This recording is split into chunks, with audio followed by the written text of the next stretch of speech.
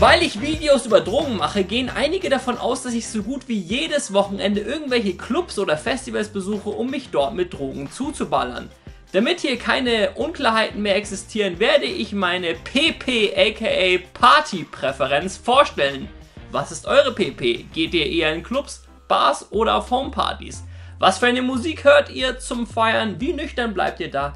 Wie heißen eure Lieblingsschuppen? Und was hat Danny Klose damit zu tun? Da ich im Dorf Glonn, Holder Elf, wo kommen Sie her?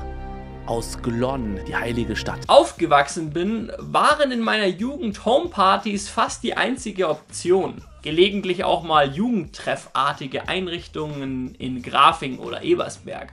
Anfang 20 war ich dann immer öfter in München und ging am ehesten in irgendwelche Bars, als Halbire, am liebsten in Irish Pops. Sich in einer Bar zu unterhalten sprach mir eher zu, als in einem Club Frauen anzutanzen. Ich habe noch nie in meinem Leben eine Frau angetanzt, aber in den Clubs, in denen ich früher gelandet bin, war das gefühlt so das Hauptding. Also es gab da in diesen Clubs so viele Männer, die einfach zu irgendwelchen Frauen hin sind und die dann einfach so von hinten angetanzt haben, ohne ein Wort zu wechseln und wenn sie Glück hatten, haben die dann mit denen rumgemacht. Nichts gegen euch, wenn ihr sowas macht und das bei euch funktioniert, aber ich kann sowas nicht. Macht man sowas überhaupt heute noch oder wird man dann direkt gemetooed? Bei diesen Clubs kam es mir auch irgendwie immer so vor, als würden die Leute nicht für sich selbst tanzen, sondern eher für andere Leute. Oh yeah, Leute, schaut, was ich für sicke Dance Moves drauf habe. Oft kamen in so Schuppen Chart-Songs oder Songs, bei denen das Publikum Woo schreit und mitgrölt. Erneut, mich freut es, wenn ihr sowas feiern könnt, aber diese Rumgrölerei und das Woo fiel ich halt null. Außer wenn vielleicht mal ein richtig krasser Track von Helge Schneider kommt. Wie steht ihr zu? Woo! Und ich weiß selbst nicht genau, warum ich da kein Fan davon bin. Weil ich früher hauptsächlich eher rockige Sachen gehört habe, war das halt auch ein Grund, warum ich Bars besser fand als Clubs. Weil da eher mal so rockige Sachen kamen als in den Clubs, die ich kannte.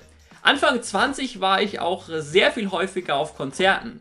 Ich zähle jetzt einfach alle Interpreten auf, die ich schon live gesehen habe und ihr schreibt in die Kommentare, welche ihr davon kennt oder feiert. Real Big Fish, Sum 41, Mad Caddies, Kaisers Orchestra, My Baby Wants to Eat Your Pussy, Zebrahead, Gogol Bordello, Sportfreunde Stiller, Bloodhound Gang, Lustig, Arc Second, 8 cm, Moop Mama, DCVDNS, Big D in the Kids Table und Helge Schneider. Wer herausfinden kann, was davon keine echte Band war, sondern die Größe meines Glieds, bekommt 100 Punkte.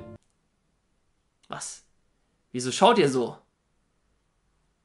Im unirrigierten Zustand natürlich. Außerdem ist es zurzeit echt kalt. Bis ins Alter von 25 war meine Drug of Choice Alkohol, aber dann habe ich angefangen illegale Drogen zu nehmen und da verschlägt es einen dann in eine andere Art von Clubs. Das sind dann Clubs, in denen eher elektronische Musik kommt. Das Klientel ist da auch gefühlt weniger Mainstream und open-mindeder. Mir kommt es irgendwie so vor, als würden Leute in elektronischen Clubs eher für sich selber tanzen. Die machen sich nicht so viel Gedanken darüber, was andere über ihren Tanzstil denken. Also vor allem im Vergleich zu so Mainstream-Schuppen. Bilde ich mir das ein oder könnt ihr diesen Unterschied auch wahrnehmen? Äh, aber bei uns im Hip-Hop-Metal-Club ist es uns auch egal, was andere über unseren Tanzstil denken. Privat höre ich nach wie vor auch viel Rock und Ska, aber gehe halt am liebsten auf Elektroveranstaltungen, weil ich da die Vibes einfach am ehesten digge. Ein Kumpel von mir schickt mir außerdem regelmäßig Einladungen zu illegalen Outdoor-Raves. Also da wird dann irgendwo im Wald oder unter einer Brücke eine fette Soundanlage und geile Lichteffekte aufgebaut, damit man da geil raven kann. Und ich muss sagen, dass ich diese Raves größtenteils richtig geil finde. Besonders den Aspekt, dass es Outdoor ist, feiere ich sehr. Die ganzen letzten Jahre, wo ich noch mit Kathi zusammen war, war ich halt teilweise nur alle drei Monate partymäßig unterwegs. Und Das waren dann auch am ehesten irgendwelche WG-Partys. Da ist man die meisten Wochenenden eher dazu motiviert, zu Hause Netflix zu schauen, anstatt feiern zu gehen und Leute kennenzulernen. Jetzt vermehrt sich das wieder und ich gehe Minimum einmal im Monat feiern. Das Erstaunliche dabei, ich war es schon mehrmals völlig alleine feiern. Einfach ohne groß irgendwelchen Homies Bescheid zu sagen. Alleine feiern zu gehen gibt einem eine komplett andere Feiererfahrung und man lernt viel eher Leute kennen. Als jemand, der Videos über Drogen macht, habe ich natürlich den Vorteil, dass ich in Clubs oft angesprochen werde und es mir nie an Gesellschaft mangelt. Doch wie sieht es denn mit den Drogen aus? Schieße ich mich auf Partys übel ab? Tatsächlich bin ich ungefähr mindestens jedes zweite Mal beim Feiern komplett nüchtern.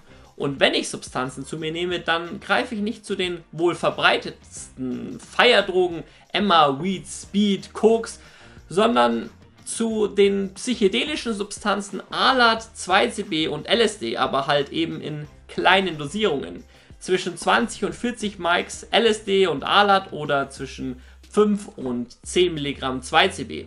Das sind Dosierungen, bei denen ich den Rausch eindeutig spüre, aber ich verhalte mich dann noch sehr normal und man könnte mich dann nicht von meiner nüchternen Version unterscheiden.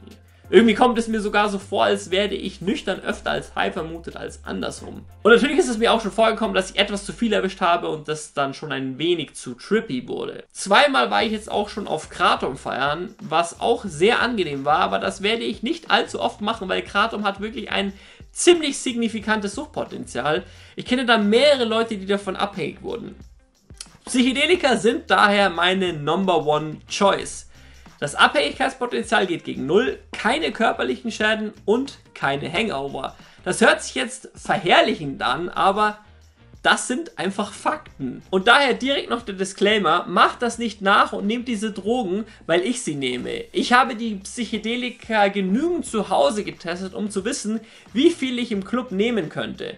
Psychedelika bringen jede Menge psychische Gefahren mit sich. Wenn man versucht, das nachzuahmen, kann es sein, dass man schnell mal in der Klapse landet, besonders wenn man noch minderjährig ist. Ich habe ja schon gesagt, dass ich zum Feiern eher in Clubs mit elektronischer Musik gehe, doch was für eine elektronische Musik genau? Irgendwie stehe ich eher auf chilligeren Elektro mit ein bisschen mehr Melodie, so harter Bum Bum Bum Bum. Elektro ist mir irgendwie zu derb und monoton. Ich habe das Gefühl, dass in der heutigen Zeit schnellerer Techno beliebter ist, also es gibt gefühlt mehr Clubs mit schnellerem Elektro und es ist schon mindestens zweimal vorgekommen, dass ich Leuten meinen Lieblingsclub empfohlen habe und die dann voll enttäuscht waren, wie langsam dort der Sound war. Ich brauche mindestens 200 BPM, sonst geht bei mir gar nichts. Jedenfalls gehe ich daher seit einiger Zeit zu über 90% immer in den gleichen Club. Ein Club, in dem sehr häufig die chillige Art von Elektro kommt, die ich feiere. Ein Club, mit Kühnheit und Stolz. Doch welcher Club genau ist das? Das erzähle ich im nächsten Video. In diesem Video erzähle ich euch nicht nur, warum ich meinen Lieblingsclub so toll finde, sondern ich werde die bekanntesten Clubs in München raten und schildern. Da ich in dem Video auch unter anderem die skurrilsten Google Maps Club-Bewertungen vorlesen werde, wird das äh, Video definitiv auch unterhaltsam für Leute, die niemals München besuchen werden.